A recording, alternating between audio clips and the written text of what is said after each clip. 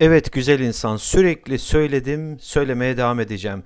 Kelime sorularında cümleyi basitleştiriyoruz ve boşlukla birlikte anahtar ifadelerle seçeneklere bir soru soruyoruz. Hangi seçenek sağlıklı bir cevap verirse doğru cevabın o olduğu kanısına varıyoruz. Şimdi bu dediklerimi uygulayalım. Cümleyi basitleştiriyorum. The growth of the internet ifadesini ele aldım. İnternetin büyümesi. Boştan sonra a new era for business. İş dünyası için yeni bir dönemi. Bu ifadeleri boşlukla birlikte ele alıp şu soruyu soruyorum. İnternetin büyümesi iş dünyası için yeni bir dönemi ne yaptı? Bu soruyu seçeneklere sorduğumda bakalım hangisi sağlık cevap veriyor. A'da heralded diyor. Herald habercisi olmak anlamına gelen bir fiil.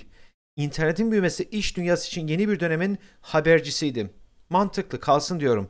B'ye baktığımda jeopardize, tehlikeye attı.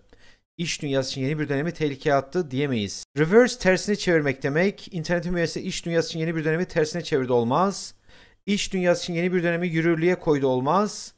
İş dünyası için yeni bir dönemi korudu. Hepsinden saçma olmaz. Dolayısıyla doğru cevabımız A olacaktır. Heralded fiil çekimlemesini boşluğa koyup cümlemizi okuyalım. Burada just as tıpkı gibi anlamına gelen bir bağlaç ve önemli.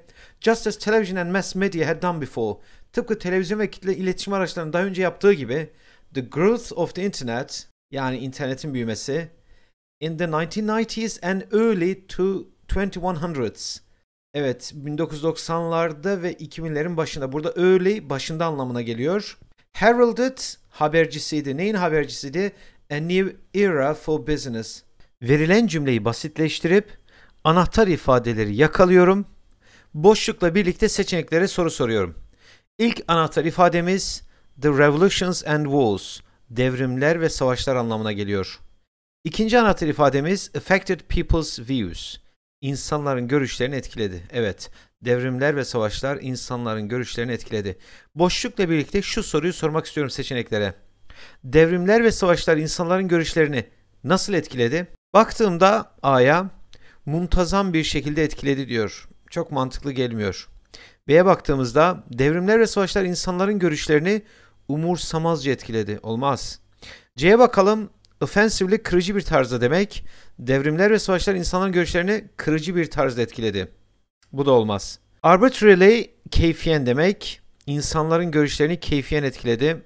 Saçma bir yorumlama. E'ye baktığımızda evet devrimler ve savaşlar insanların görüşlerini derinden etkiledi şeklinde mantıklı bir cevap alıyoruz. Dolayısıyla doğru cevabımız E olacaktır. Doğru cevabımızı boşluğa koyup cümlemizi okuyalım. Biraz yorumlama yapmak istiyorum. The Revolutions and Wars. Evet devrimler ve savaşlar. Ne zamanın devrimleri ve savaşları? Of the 20th century. 20. yüzyılın devrimleri ve savaşları ne yaptı? Profoundly affected. Derinden etkiledi. Neyi derinden etkiledi? People's views of these times. İnsanların bu dönemlere bakışlarını derinden etkiledi. Başka neyi etkiledi? And the histories they wrote. Ve yazdıkları tarihleri etkiledi. Nasıl etkiledi? Derinden, profoundly. Burada The Histories ismi devamında gelen bir adjective clause, bir sıfat tümceyle bir relative clause'dan nitelenmiş. Okla da gösteriyorum. The Histories, tarihleri. Nasıl tarihleri? The Histories they wrote. Onların yazdıkları tarihleri. Türkçe yorumlamasında da oka dikkat edelim. Ayrıca burada profoundly zarfının eş anlamlarını vermek istiyorum. Çünkü sınavda bunların biri çıkacak benden demesi. Uzun bir cümle var soru kökünde ve bilinmeyen kelimeler üzerime üzerime geliyor. Ama ben işi cümleyi kısaltarak basitleştirebilirim. Ne diyor broadcasters, yayıncılar? Yayıncılar ne yapmış? Have had to boşluk their old analog frequencies for the new digital channels. Yeni dijital kanallar için eski analog frekanslarını nokta nokta zorunda kaldılar. Şu soruyu sormak istiyorum. Eski analog frekanslarını ne yapmak zorunda kalmış bu yayıncılarımız yeni dijital kanallar için? Bakalım hangi seçenek sağlıklı bir cevap veriyor?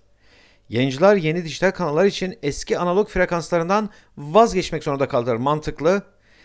Eski analog frekansların sorumluluğunu kabul ettiler. Kabul etmek zorunda kaldılar. Olmaz. Çözüm yolu bulmak zorunda kaldılar. Olmaz. Azaltmak, geri çevirmek zorunda kaldılar. Hiç olmaz. Dikkatlice incelemek zorunda kaldılar. Bu CDE biraz mantıklı görünse de buradaki cümlenin devamında in new equipment diyor. Yani yeni ekipmanlara milyonlarca dolar yatırım yapmışlar. Eğer yatırım yapmışsa bu yayıncılar demek ki yeni dijital kanalların hatırına eski analog frekanslarından vazgeçmeleri söz konusu. O zaman doğru cevap A olacaktır. Cümlenin yakın yorumlaması da bu şekilde.